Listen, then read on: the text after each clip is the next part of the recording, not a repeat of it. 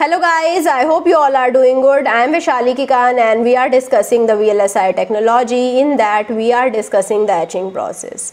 Today in this video we are going to discuss the various types of etching, the single crystal etching, the polysilicon etching and the metal etching. So today's video is going to be the really interesting one and I hope you will be getting a lot of new information till the end of this video. So I hope you will be staying with me till the end and you will be able to understand all of the types of the etching processes. So first of all, we are going to start with the single crystal silicon etching. So what is single crystal silicon etching? We are etching out the single crystal silicon wafer. So why we are etching it? To make the short trench isolation. Why we were making the short trench isolation? So that we will be having the two transistors or two MOSFETs which are not shorted out to each other. If I don't make the isolation between the two devices, devices they will be getting shorted okay so to avoid this possibility i make the shallow trench isolation and again i can make the deep trench capacitor as well. So i am going to discuss about both of them the structures of both of them and the functioning also. So again i can use the hard mask the silicon nitride and the oxide etching also. So we can have the photoresist which may cause the substrate contamination. So this possibility we have to remove. So we have to make this single crystal silicon etching very carefully we have to avoid the contamination with the photoresist and I use the bromine. So I should know the bromine chemistry also. In the previous classes I was discussing about the fluorine chemistry because there I was using the fluorine as the etchant here I will be using bromine so I should understand the bromine chemistry as I am using HBr as the main etchant hydrogen bromide is our main etchant present here. Okay so you can see here we have here the single crystal silicon etching which is making the shallow trench isolation. Okay so this shallow trench isolation is formed when I have etched out the silicon layer so that this transistor and one more transistor which might present here which will will not be getting shorted out. So i am making the silicon etching for this purposes. So i hope now you understood in the cmos cross section where i am using the silicon etching or the single crystal silicon etching now i can make the capacitor also. So first of all i have to make the deep trench. So first of all this is my photoresist okay so I will be making a mask with the photoresist how I will be making this mask with the photolithography process. After the photolithography process, I will be having the hard mask present here. After that, I will be using the hydrogen bromide and I will be making a deep trench and I will be etching out the silicon to make this trench. Then I will be keeping here silicon dioxide or any dielectric which will be separating the heavily doped silicon. So this is how we are making the capacitor. What is a capacitor? Cap capacitor are two metallic plates or two conducting plates which are separated by a dielectric and here also the heavily doped silicon will be acting like a conductor and here the silicon dioxide will be acting like a dielectric and as a whole this structure will be acting like a capacitor. So now coming to the facts about bromine because here we are going to use the bromine as the etchant okay so its uh, name is bromine that we know symbol is Br atomic number 35 atomic weight around 79. 0.904 discovered by Antoine J. Balard and discovered at France in 1826. So you can see all of the other parameters, origin of name, molecular weight, velocity of sound, resistivity, refractive index, melting point, boiling point, thermal conductivity application. So it is uh, used as the main etchant for single crystal silicon etching process and the source is hydrogen bromide. So now coming to the reactions, hydrogen bromide will be dissociating in the plasma and it will be generating hydrogen and the bromine atom. The bromine atom will be reacting with the silicon and it will be forming the SiBr4. okay so we can easily remove this byproduct SiBr4 so if I am using small amount of oxygen also so it will be uh, used as the sidewall passivation the output uh, the silicon bromide the SiBr4 will not deposit on the side walls. For that I am using the oxygen O2 gas. A little NF3 also used for preventing the formation of the black silicon. Okay, so I have to use O2 and NF3. I cannot calculate an endpoint with the help of any physical device. I have to calculate the endpoint with the time only.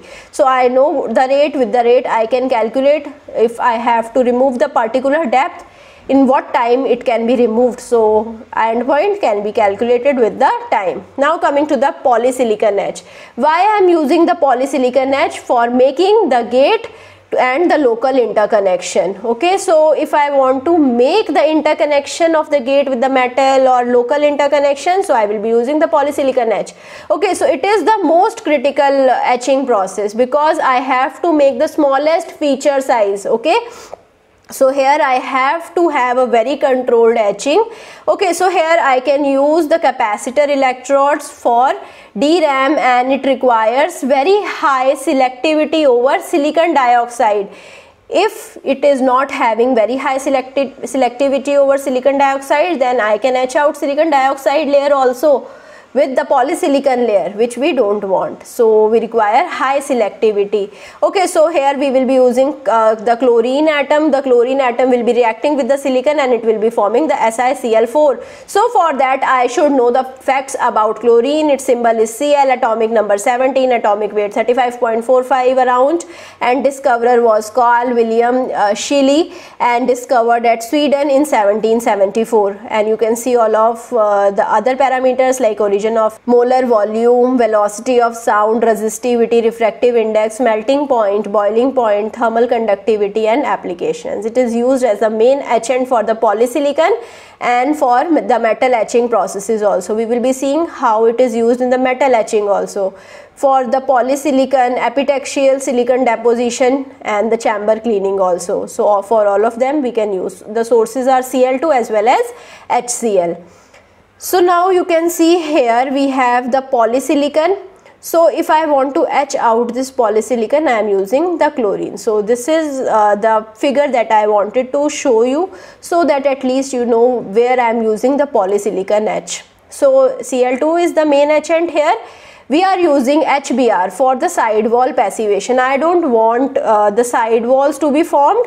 For that I will be using the H HBr. Okay, it, uh, again for the blocking mechanism also HBr is used.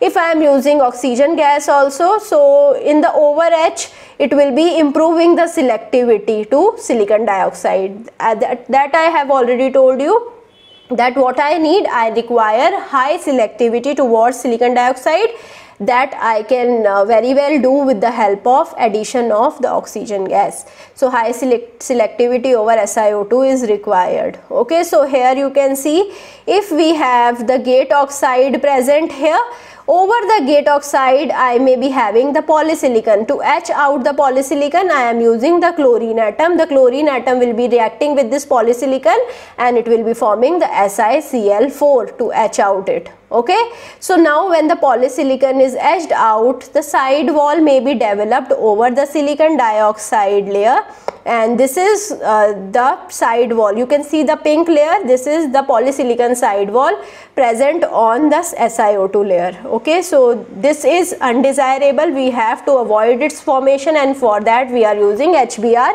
as well as we are using the O2 to improve the selectivity. So I hope now you understood it. Now coming to the uh, process. So now coming to the process steps. So coming to the breakthrough. In the breakthrough we are removing the native oxide layer. How we are removing the native oxide layer? With the help of energetic argon ion bombardment. So it will be removing the oxide layer. The main agent here is chlorine plus we are using HBr also. So how we are calculating the endpoint with the help of oxygen atoms. If I have the over etch, we have to reduce the power and then we have to add oxygen gas for highly high selectivity over the SiO2 so that SiO2 will not etch out in the case of over etch. now coming to the metal etching metal etching is used to etch out titanium nitride or aluminium copper alloy or titanium metal stack to form the metal interconnection. We are using cl2 plus bcl3 okay so we need to etch away the copper in aluminium either physically or chemically. So if I have the copper present in the metal that I have to take special care of and I have to remove it specially. So we need to strip off the photoresist before the wafer exposure to the moisture present in the atmosphere because whenever we have moisture present in the atmosphere it will be reacting with the photoresist okay so I have to avoid that possibility also. So you can see over here uh, where we are using the metal etch we are here making the metallic interconnection and for that we have to etch out metals from here. So now this is the second metallic layer and here we are doing the metal etching. So uh, what I am doing I am uh, removing out the metal layer I am making the metal interconnections I am removing the titanium nitride aluminum copper alloy or the tit uh, titanium. So now the chlorine is used as the main agent I can use BCl3 and nitrogen gas also for the sidewall passivation. Oxygen gas is used to improve the selectivity. Now here the challenges. First challenge is to control the etch profile. Okay so in the case of metals how we can uh, remove the metals that is a difficult task. So if i want to etch a particular layer of the metal in the particular direction that is difficult. So etch profile need to be highly controlled and we have to control the residues as well. So etch residues must be avoided.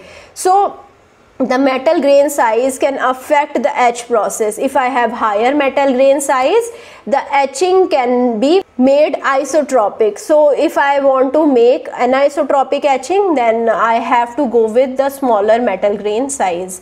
So you can see the chemistry. Cl2 will be dissociating in the plasma to form the chlorine atom. The chlorine atom will be reacting with the aluminium to form alcl3 the chlorine atom will be reacting with the titanium nitride to form TiCl4 plus nitrogen the chlorine will be reacting with the titanium to form TiCl4 so now a question for you. If i want to remove the gold how I can remove the gold? Let's think about it and uh, if you have any doubt you can put the doubt in the comment. If you want to refer some books you can refer these books. These are all amazing books. And if you want to discuss about the gold okay? So gold is a nut uh, atom. It, it is not easily reacting with any of the chemical okay? So how I can remove the gold? So I will be uh, using some another way okay? So I will be removing the gold with the help of the passive technique okay? I cannot use the direct technique because the chemicals are not reacting with it okay? Or I cannot give a very high temperature also. Why? Because if I am providing a very high temperature then it might affect the wafer okay? That I don't want so let's think about it and let's discuss in comment how we can etch out the gold as a metal. So I hope you like this session. If you like it, please push the like button, subscribe to the channel and also do share it with your friends. Thank you so much.